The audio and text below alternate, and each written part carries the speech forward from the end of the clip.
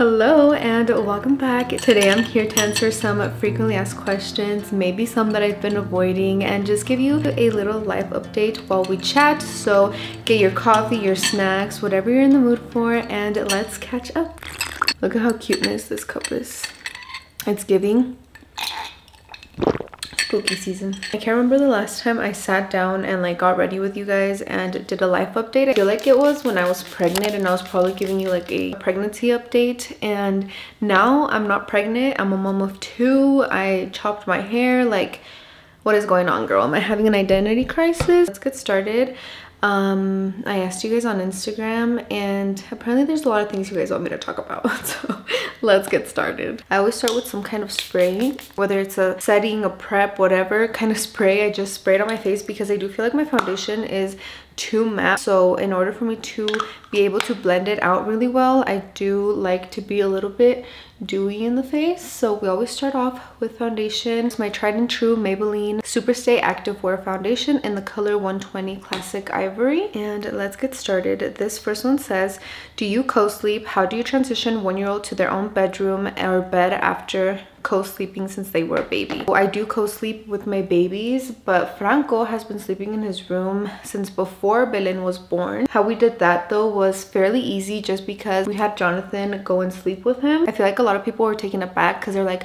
how could you not sleep with your husband and how could you give that up? At the end of the day, they're little for so long and you can still cuddle with your husband and you don't have to sleep with him in a sense. So to go into a little bit of detail with that, we always put the babies down at 9 p.m. Franco's usually always asleep and in bed by like 9.45, 10 the latest. So between 10 and like 1 a.m., Jonathan and I get time to hang out and cuddle and talk and you know and then when the clock strikes one which is usually the latest jonathan ever goes to sleep he just goes in franco's room and goes to sleep. Because at that point we already had a couple hours to ourselves to do whatever we needed to do you know? I feel like when you think about it it does seem a little bit like what the heck? You're sleeping in separate bedrooms from your husband. Doesn't that cause like distance between you? Like how do you know this and that? But at the end of the day you know your husband. And if you're gonna make it work so your child can slowly start sleeping in their own room then it's only literally going to be for such a short amount of time because our babies are only babies for so little you know? So that has never been an issue. That was something that we right away talked about and made made sure we were both comfortable with and now it hasn't even been a year since Jonathan started sleeping with him and he's already coming around to being by himself. So now Jonathan falls asleep in our bedroom and sometimes he'll wake up at around 3 to 4 a.m. because he feels alone and he will come into the bedroom and Jonathan will just wake up and transition to his room. So just being like completely honest here, it has not affected us at all whatsoever. And if anything, it's just created way more security in Franco and his sleep routine. He loves his room. We tried when Belen came home to all co-sleep in the same bed and Franco absolutely hated it. He would literally tell us like, no, I want to go to my room where my tigers are. So I have a few questions asking how different it is postpartum with Belen and then how different it was with Franco. All I'm gonna say about that is that truly have no expectations for your pregnancies at all whatsoever. They're all different. Every pregnancy is different. Every labor and delivery is different. Every postpartum is different. Every baby is different. You cannot have the same experience twice no matter how hard you try. So if there's any advice I can give you, it would be to just have no expectations and take it as it comes. Live one day at a time and you will get through it. I promise you. We are six months out and I'm already starting to feel like myself again. Thank God. okay, this one says, please be honest. Are you regretting your short hair? Because I want to cut mine so bad. Being completely honest here, I do not regret cutting my hair short. Trust me, when I was sitting in that chair, I was hyperventilating almost. I was like, no, I shouldn't do this. I've always hated short hair. I was having all of the thoughts and at the end of the day i realized that it was something that i could just not stop thinking about and just like any other lesson in my life i decided to just do it and learn from it so i was like if by any chance i end up absolutely hating my hair and regretting it so bad at least i'll know that i will never ever cut my hair short again so i went in with that mindset i went in with the mindset of it's probably not gonna look great on me it's probably not gonna look as good as it looks on these other girls. I went in with no expectations and came out absolutely loving it. I truly just feel like it makes me feel something and I'm so glad that I did it because had I not done it then I would be thinking about it to this day and being like what if I had just cut my hair? At least it's hair and it grows back eventually. Are you supplementing with formula? I am not supplementing with formula. I am exclusively breastfeeding and as draining and as time consuming and hard work as it goes into exclusively breastfeeding. I am so, so lucky that I get to do it and that I get to nurse my babies for as long as I possibly can. Okay, this one reads, we know the kids and Jonathan are doing great, but how are you and how is your mental health? Thank you for asking, Queen. I feel like my mental health within itself is pretty okay. I wouldn't say that I'm struggling and I wouldn't say that in any postpartum I've struggled a lot mentally but something that i do believe that many many women struggle with when they become moms is just mom guilt. And i know it sounds so cliche and oh we always hear that and mom guilt is always this or it's always talked about you sound like a broken record.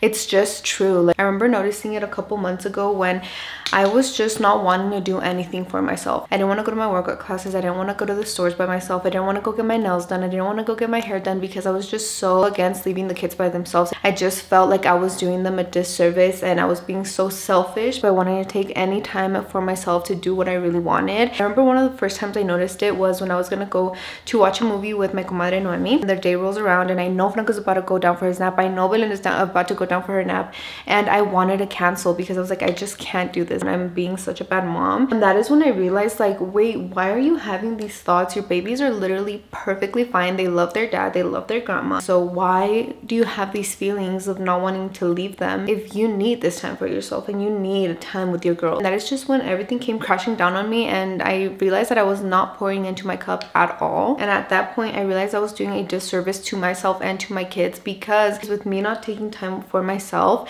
at the end of the day i was completely drained out of all of my energy all of my body battery. I felt tired and like nothing was making me happy at that time. And i did try to paint it in a light where well at least my kids are getting me 100 percent. But at the end of the day i was like your kids need a happy mom. And that is when i decided that i just needed to talk to someone and really talk through the reasons why i couldn't get that feeling out of my mind. And this is when i want to remind you guys that therapy is a safe space where you can share what's on your mind. Whether it's stress sadness worries relationship issues you can share it with no judgment judgment. Your therapist is there to listen, to ask you questions, and just help you see things from a new perspective. They can provide insights and teach techniques to manage your emotions, reduce stress, and to make positive changes in your life. And trust me, I know that therapy can be costly. That is why there are affordable options available like online therapy platforms. So that is why BetterHelp is the sponsor of this video and they are on a mission to make starting therapy easier. BetterHelp is a platform where therapists and their clients can communicate effectively and get the most out of therapy. And BetterHelp makes starting therapy is so easy. All you do is fill out a questionnaire and you will get matched with a therapist in as little as a couple of days. One of the best features about BetterHelp is that if you don't connect with the first therapist, you can easily make a switch to another one until you find one that you really connect with. They very carefully make sure that the therapists on the platform are well qualified and their customer support team is there to answer any questions you might have. So if you're struggling and you think that you can benefit from a therapy session, click the link in my description box or you can go to betterhelp.com slash to get 10% off your your first month of therapy.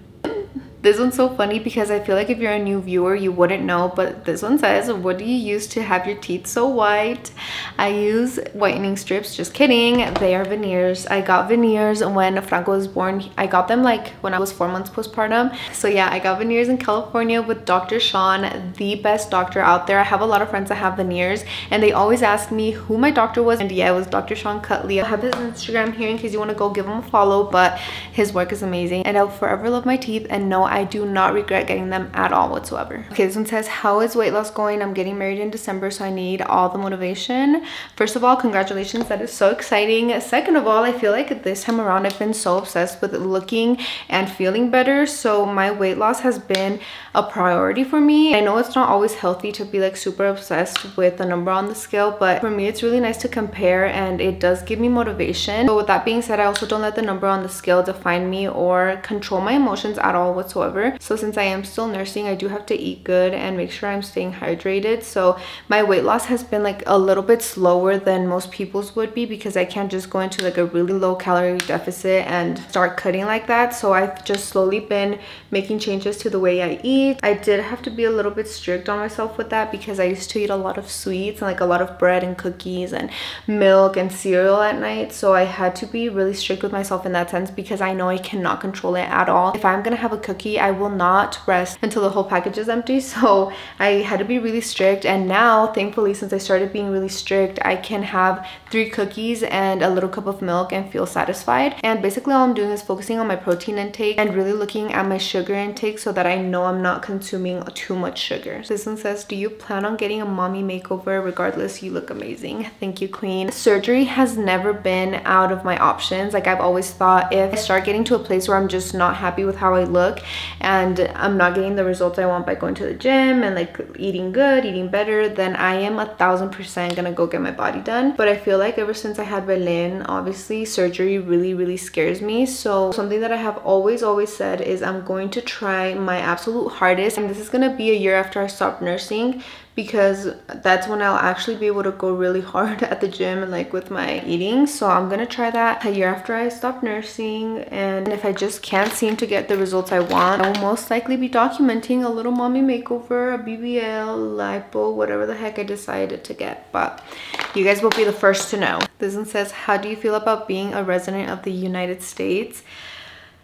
it feels like truly a weight off my shoulders. And it also feels really rewarding just thinking about the process and like everything it took to become a resident of the United States or and not only that also to hold a DACA for years. It just feels really rewarding. I just feel so thankful and blessed that I'm able to go visit Mexico. And it's truly just such a special feeling. This one reads is intimacy life harder with two kids now? I wouldn't say that it's harder. I would just say that you have to be a lot more mindful about it and just find like your sweet time to do it because obviously can't do it during the day. You can't do it in the morning because the kids wake up super early. So so that's why i feel like when moms talk about having a routine and having your kids on a set sleeping schedule isn't just only for them and for their well-being and for them to be happy toddlers or babies it's truly for yourself too. Because if your babies go to sleep at 8 p.m and you don't go to sleep till 11 p.m you have all that time to do whatever the heck you want watch a movie or a show or have intimacy with your husband or cuddle or order takeout, you know? So I feel like that is one of the biggest reasons that parents put their kids on a strict schedule as well. And that is what has worked for us too. Like we know exactly when we have time to do what we want to do. This one reads, are you struggling with postpartum hair loss? It's been tough for me to feel like myself. I am struggling with postpartum hair loss. I have like kind of a big bald spot in the back of my head and then I have a lot of hair loss here on my hairline.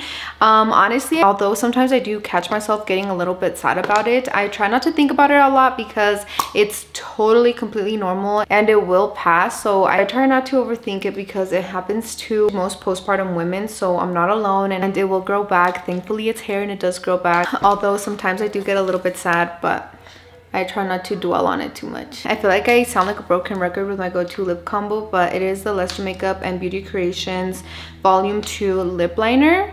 It's like the perfect nude for my lip color because my lips are like really pink. And then I top it off with the Rare Beauty lipstick in Creative.